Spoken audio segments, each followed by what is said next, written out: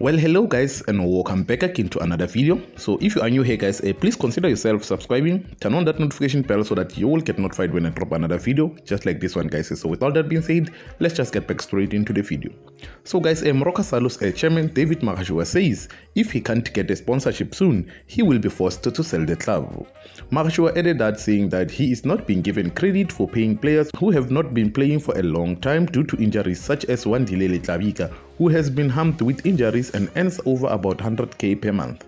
He said that the grant money of 2.3 million after tax is not enough to run the club and it is only good for clubs paying small salaries. When asked, he says that if he doesn't get a sponsorship, he's going to sell the club or he's going to release all the players and play with the youngsters. So, what you think, guys? Uh, please comment your thoughts down below on the comment section. Let us know what you actually think. And if you are new here, guys, and you've just made it this far, please uh, do subscribe, turn on that notification bell so that you will get notified when I drop another video, just like this one, guys. So, good luck, guys, and I'll be seeing you on my next video. Bye bye.